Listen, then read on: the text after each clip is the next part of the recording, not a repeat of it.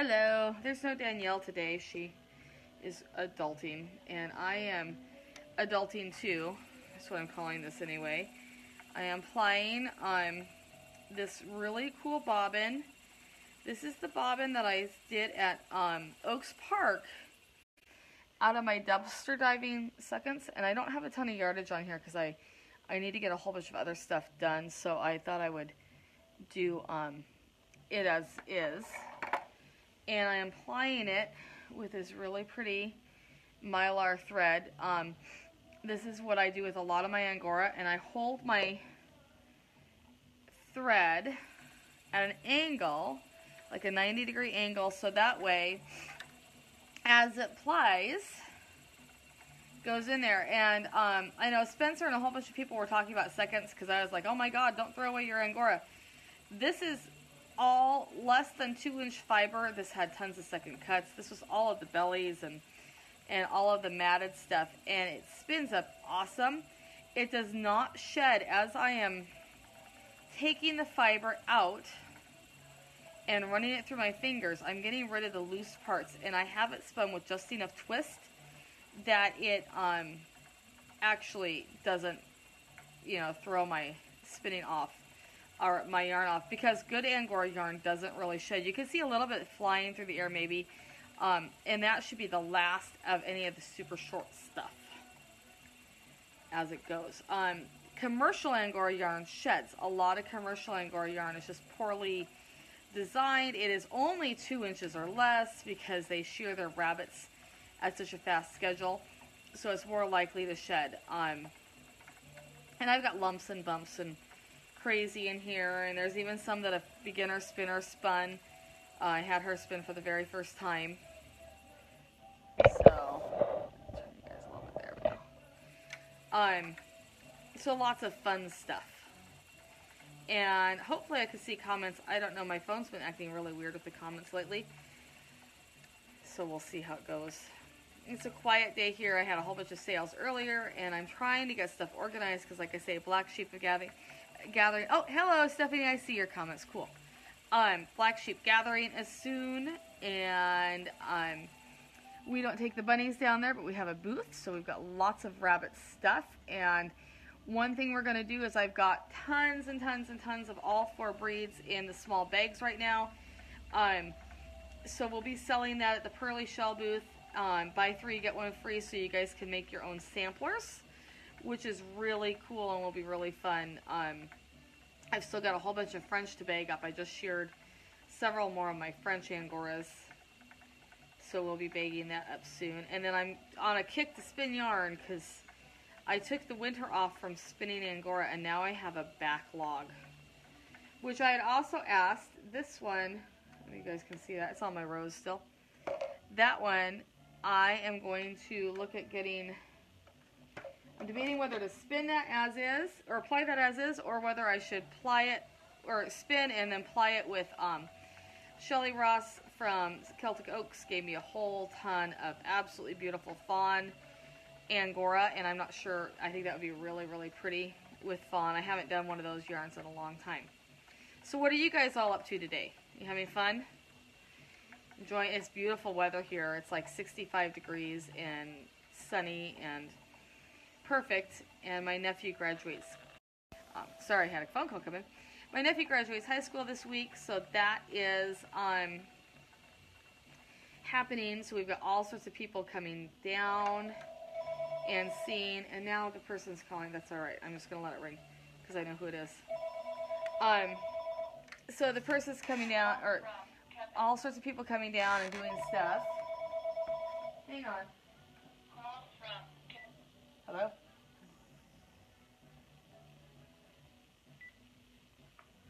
So we're doing that for fun, and we're having a big party. All sorts of stuff going on and nothing much bunny related, though I do have a whole bunch, I have a couple litters I need to sort through. So I thought I'd do that later too. Um, hopefully tonight, if not a little bit later. Um, and see, we this is black. This must be black for my black doe. That's obvious. It's a, but she's a really um, pretty black satin angora that we just sheared. Hopefully she's going to have babies soon. We've got convention babies coming. I've got French everywhere right now, and a couple English litters due, and three English Angora litters in the nest boxes, which I haven't had for a long time, so that's exciting. Including some brokens. Got a really cute little broken that was fostered to a friend's litter, so I'm anxious to see how that one turns out since they're presenting in um, Springfield this year. Along with broken satin angoras. Lots of fun there.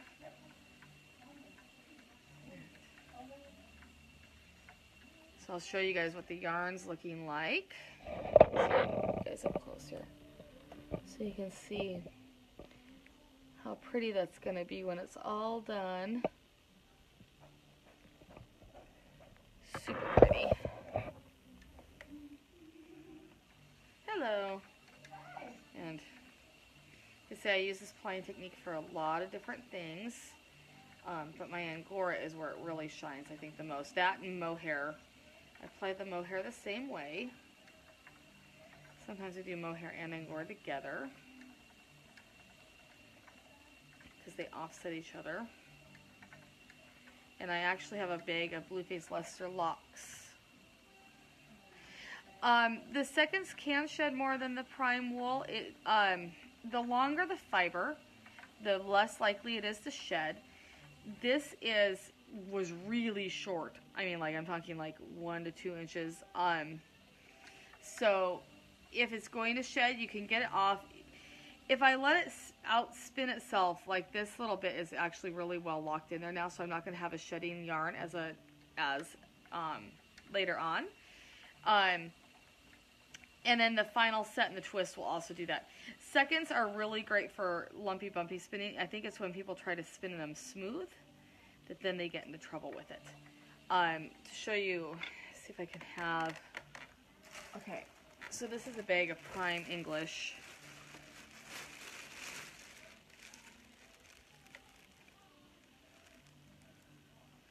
So you can see the length of a prime coat, even with that little bit there. There we go.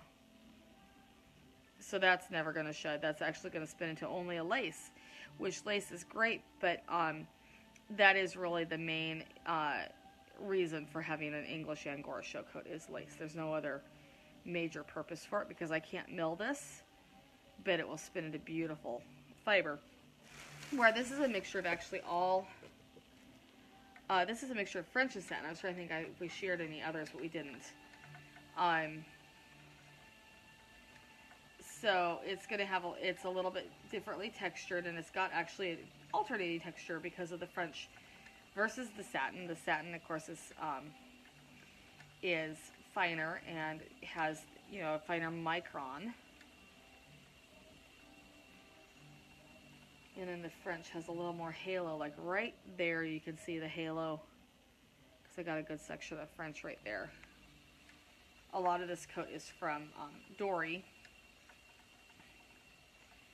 who we sheared off, and she had a huge amount of coat. Even though she had been losing her coat, she has had a good, I think we got 8 ounces of prime off of her, plus the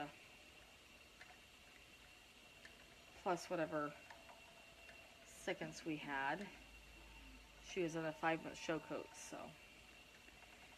So her prime was very, very long. Um, Deidre took her prime home to spin because she deserved it. And that was her fun. Thank you. Thank you, Sunshine. That was a fun thing to do, and she can take her coat. And I know she's going to enter her coat in the wool skein garment contest in Springfield, Massachusetts, um, as something. I don't know what she'll make, which is really cool. And that's a way that all of our show rabbits can continue to compete for a long time is through that. Yeah, her coat was so well balanced. um, I've got to bring in um, Colt's coat, Shelly. Colt's coat that I sheared off this time. Oh my gosh. Talk about an amazing coat on a rabbit. He, um, just incredible. And his coat's going to go into some of the bags. But I think I'm going to spin some of it. I actually still have a bobbin sitting here full of coat from um, Miranda. And I'm thinking about spinning some of Colt's coat and plying it together because that would be kind of fun. They are both chocolatey goodies, mother and son, so it might be kind of a fun coat to do. Spin to do. And it's how, because of how I'm holding my yarn, that is why you're getting the the, the extra texture in there, because I'm actually wrapping the fiber. So then that makes kind of the lumpy bumpy. If I didn't want it to be quite that way, I would um if I hold if I held the strands together instead, that would correct that. Um, I just want this to be crazy texture, so I'm doing everything I can to increase the texture. And this is my first time plying on this wheel. It's a nice little wheel. So we're getting to know each other still, though. It's a used wheel that I took in partial trade for one of my Majacrafts because I needed a teaching wheel really badly. And because people keep buying them from me, and that's wrong. So I have to, I had to get a new teaching wheel. So this is now my new teacher.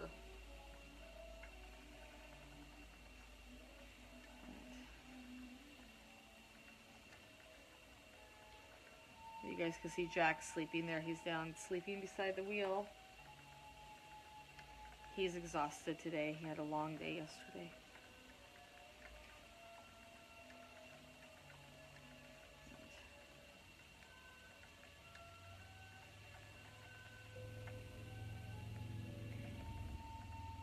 No locks to this one. Just the this is just um, plying the French and satin. So this is just just as it was. This is the Oaks Park bobbin, the the dumpster diving yarn. I'm not going to title it that though.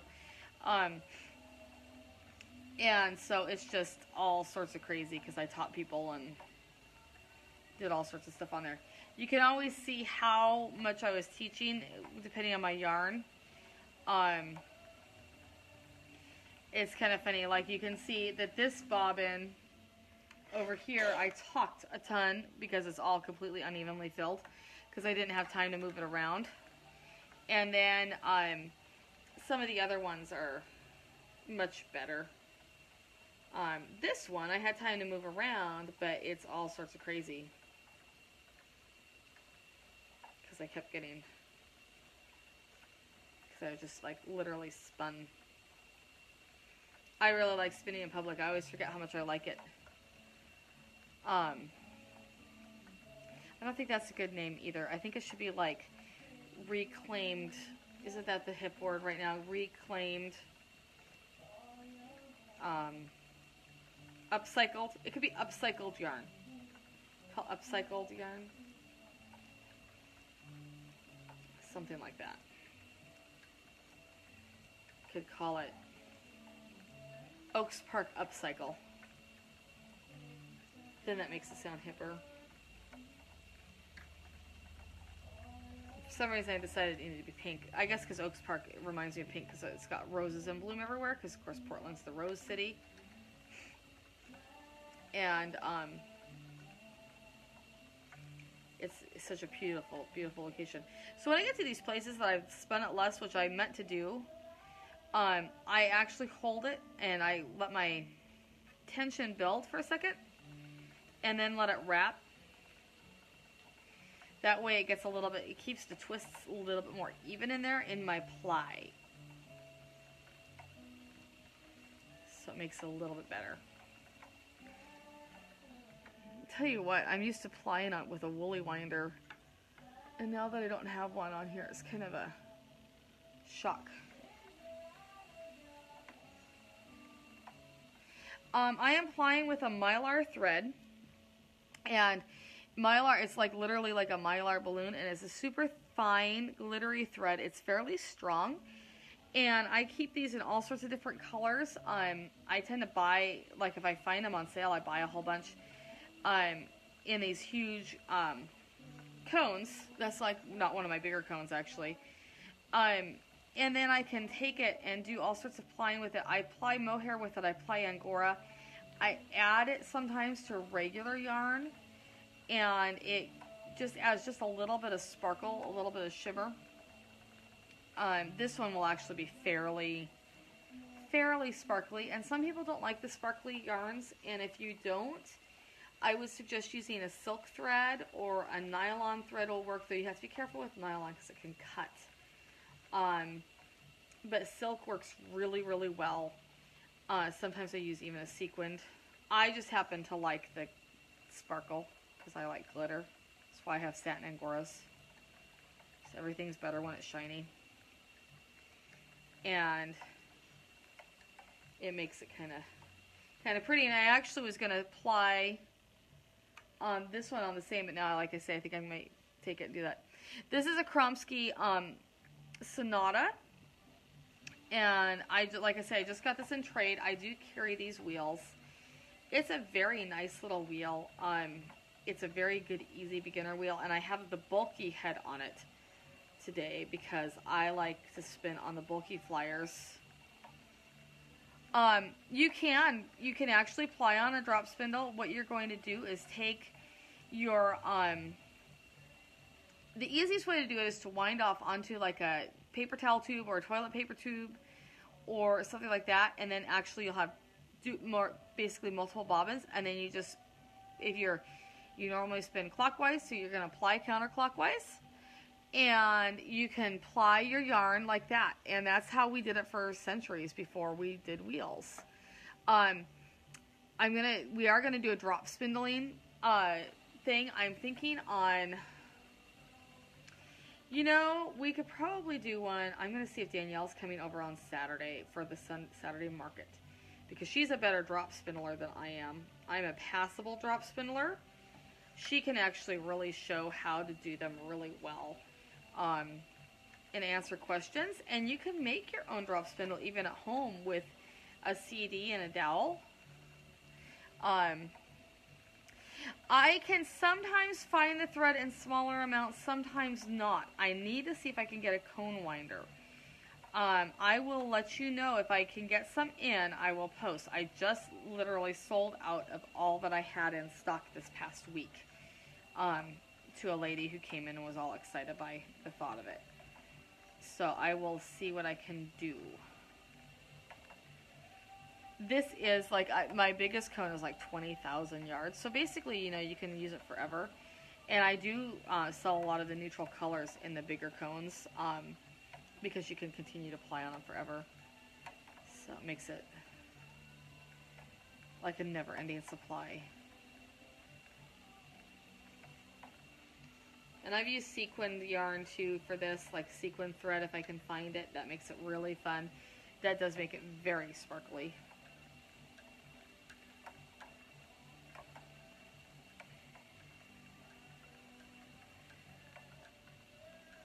where this is more like just a subtle shimmer.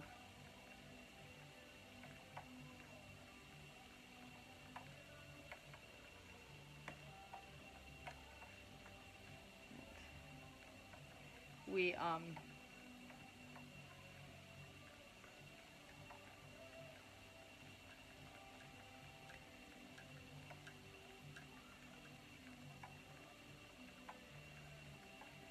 almost done with the bobbin. It always seems like I hate plying. I don't know whether you guys like plying. Like some people love plying, and that's like their favorite part of making yarn is that finishing. I think those are the same people who enjoy like prepping fleece. Like I am not a fleece prepper. Uh, no, it's all the same. At least I've never found any. It's always the same mylar thread. It's there's a weight on here. It's 169 22 so uh, it's very very fine because a lot of like lace will be like 140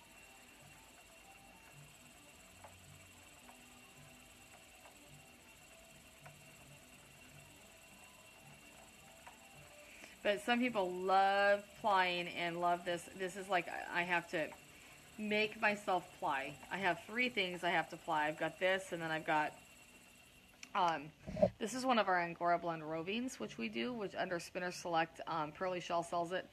This is um, Corriedale, a beautiful Corriedale fleece, and then Angora. And I used um, Angora seconds in this again, and it made kind of a slubby roving, which my mill kept telling me I could do this, and it turned out so cool because it's almost like a Donegal. But, then, but I've got this little sample that's due, and then I've got that bobbin. Unless I decide to put that one off and spin something else, that will be more fun which is very likely because I'm I'm feeling in that mood right now. I'm not going to have a ton of time this weekend. I've got short days at the yarn shop because of graduation and all the parties and all the things. This week he's got we had a band concert last night and then tonight we've got a choir concert. And Devin's not in the choir, but he goes to the choir concerts. And then tomorrow night is the Scholarship Awards, which is very cool. We live in a teeny tiny little town, and, and all of and a whole bunch of places offer scholarships. Um, like NWARA, we offer the Angora Scholarship. Bunch of the little businesses offer scholarships to the local kids here, which is really cool. Makes a big difference.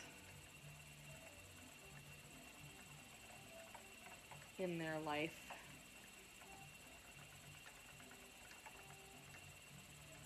And Devin's hoping he got something good.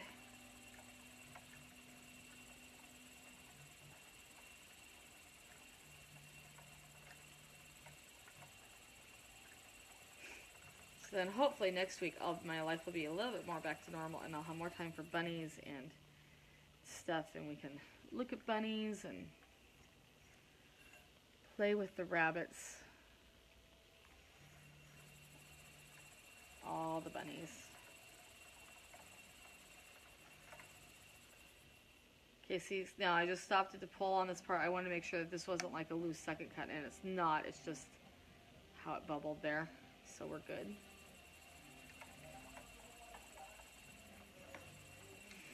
And when I weigh and shear my rabbits, I only weigh the prime coat. I don't weigh the seconds, so seconds are kind of the bonus thing.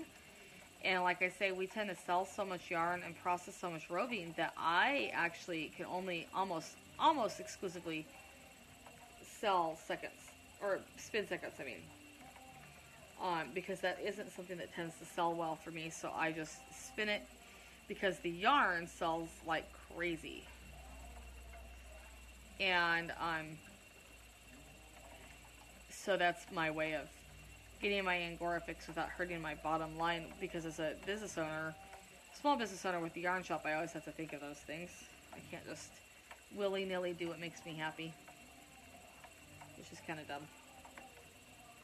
It's like adulting on the ultimate level when it comes to the rabbits. Not spinning all of the super prime fibers or hoarding it to the amount that you can't do anything with it because that happens too. It's amazing how quickly the Angora um, jumps up, but it's amazing how much I go through each mill run, how much I send in. I'm always shocked at how quickly when I start blending it because we'll normally do four to five blends at a time. And that's a lot of Angora. Um, especially if I try to do breed specific blends because I don't have equal numbers of all the breeds. Um, this yarn I will probably sell around 50 cents a yard is what my price is. Um, anywhere from that, my super prime yarns um, I sell for more. Yes, Shelly's one of my dealers. It's awesome. It's like getting surprise boxes of fun. She's like, my house is overflowing with Angora. I'm like, well, I can fix that problem for you the hers was really nice. I didn't send hers to the blend. I well, some of it did. Most of it went um into the little bags or that I'm spinning because I needed some to do samples. Mine almost always goes all my broodstock. A lot of times I just shear it by color now and it just goes straight to the mill. I don't even, you know, go through. I mean, I go through it and sort it, but I don't spend a ton of time on it. I've got, I did pull a silver tip steel coat out and I pulled a couple other ones out this time that are too awesome. like I say, Colt's coat is coming in here.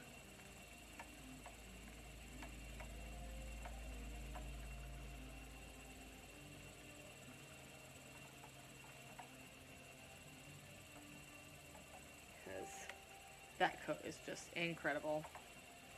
I love the rabbits that you never have to groom them and they just sit in their cage and they grow perfect coats. And then you shear them off and they shear off cleanly and then they just turn into amazing yarns because that's what they should all be like. If you have to groom your angoras, you need to look at your coat balance because that actually affects your spinning in the end. Um, if their coat's unbalanced and they're getting webby and nasty, they're not going to spin as nicely.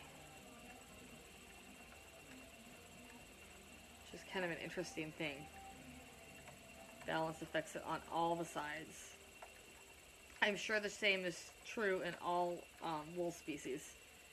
We have a lot we can learn from the sheep community and stuff. And like I was show, looking at the lion heads, like I say, and their manes are so correctly crimped because otherwise, since they don't use blowers, otherwise they lose all their coat density. So it's kind of kind of interesting. Um, because any mats, they pull them out instead of grooming them.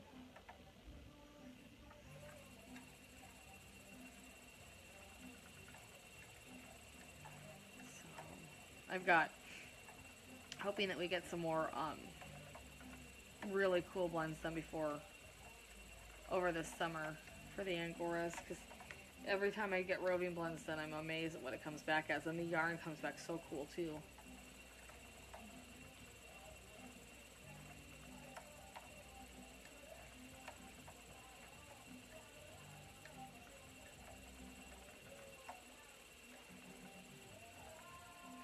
say this to me is the boring part of spinning because it's not creating though at least this is a little bit better than a regular pine because I have to watch my fingers a little bit more.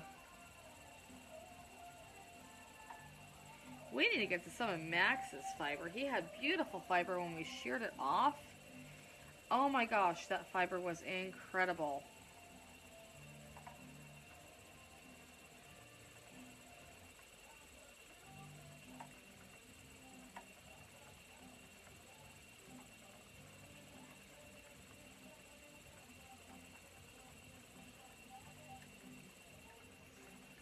That's Dalton's rabbit, Max. He's one that I bred. He had just, when I watched the playback of that and watched that coat falling, he had, and that's like his fourth or fifth coat. Coat machine. I like that when they do that too. That's what they have to do. I think it was interesting talking to the lionhead people because um, the mane gene, I don't know whether you guys know about the mane gene or not, but basically it's a dominant gene. Okay, and it first appeared at a cross between a Havana and, a, and an Angora. They were going to try to make, or I mean a dwarf and Angora, they were going to try to make um, small Angoras. And it wasn't one of our Angoras, it was a breed called the Swiss Fox. Which Swiss Fox are bred to have a very hairy, almost a, um, like a, a, bad Angora coat. We would consider it a bad coat, like a not very spinnable coat. So they bred those two together and they got the mane gene, and the mane gene popped out in this short haired rabbit. Well, I was talking to them and I was like, it had to be carried because, as much as we would love to say that genes spontaneously mutate, and they can, it is much, much more likely that it gets hidden for a long time. And there were reports of seeing maned rabbits before that. No one had kept them alive. And in this case, the um, they had to be carried on the Angora. So I was talking because obviously a mane gene on a short-haired rabbit, you're going to see it. So in talking to them, they get what they call teddies. And if you guys ever look at a teddy Angora, it looks, or a teddy, whatever they're, lion head, it looks for all the world like a little tiny English Angora. They are absolutely adorable. And they don't get a full mane break, but they will get a little bit of thinning over the saddle sometimes, um, which a lot of our rabbits do too. And I'm wondering how much the mane gene is affecting our coats. Um, because a lot of people with the with certain lines of Angoras in all the breeds except for English, English are different, um, talk about seeing that break over the coat, but they don't call it that. They call it all sorts of other things. Um, so I'm doing a lot of research right now on the lion head gene and how lion heads develop, and we're comparing pictures. I'm working with a couple of breeders up here because I'm thinking that there might be a mane gene hiding in a lot of our angoras, and that is what it um, was amounting to because I think that I inadvertently got rid of it in my line. And the satin angoras, which is one of the breeds, satins and Frenches are where you see it the most. And I think that um, by breeding in a couple other different things, I, I accidentally got rid of it by that and doing the um, selection. Is she a teddy lionhead? They are so cute. I told the breeders I want a teddy lionhead, and I spun lionhead fiber at Oaks Park, and it spun really, really nice. Like it spun like um, kind of like not like a pure English, kind of like a French English cross. It was really interesting. Um, I because I was showing them that it spun, so I grabbed a drop spindle and I took it over and spun it and I was like, look at you guys have wool. You just need to use the wool. You know, you need to use the blowers and stuff. It was really fun. And I've got a whole bunch of pictures. I just haven't, with the graduation, had time to sit down and write up the pictures because I got a whole bunch of really interesting pictures to compare things with. Um, it will depend on how that coat is. If it's a true teddy, it should grow back fairly quickly. If it's not, then it's anybody's guess because that's what a lot of that mane gene does is it inhibits the wool growth on that. Um, you can at least brush it out, but you know, it just depends. I don't know whether any of them clip their manes or not. I know that they do clip their teddies down with scissors because they don't do anything with the wool. And she's like, yeah, we have to shear them or else they mat. Which is really interesting. Um, she said, because I was also talking about the feet, because um, she's like, if they have really woolly feet as a baby, it's almost always a teddy. Because they carry a lot, in the line that I was looking at, they carry a lot of wool actually on their ears too.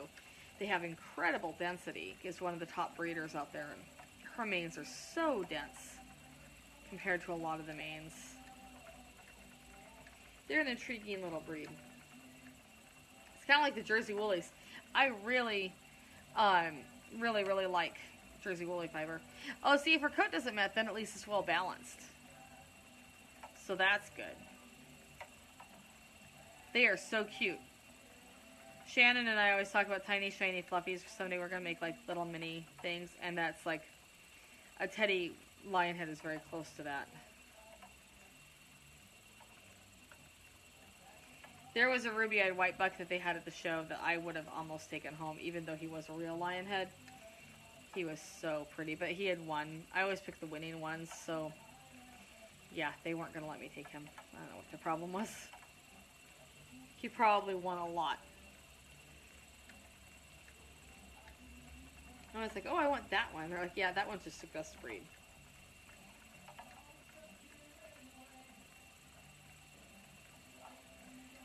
Almost done here. Woohoo!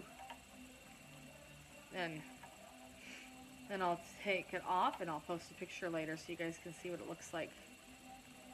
Because it's going to be really pretty. Maybe I'll get a close up here before I shut the video off so I can do other stuff here. Just break it off. I spin it for a second, get that twist at the end. All right. Here, let's see. And I dropped you guys. Okay. So that's. So you guys can kind of see that sparkle. It's got a little bit of white and black. It's multicolored. So super pretty. That will be really fun. Probably about 80 yards there. Um, I can't even stand up today. Let's see here. This yarn is a bulkier made in the same way. This yarn is finer, and this one has a clear sparkle. And then this is regular yarn that was a three ply with the thread. And then a two ply with the thread. So you can see all sorts of different things. This is a black thread here. This makes it look really cool. So anyway, hope you guys have fun and I will talk to you all later. Bye.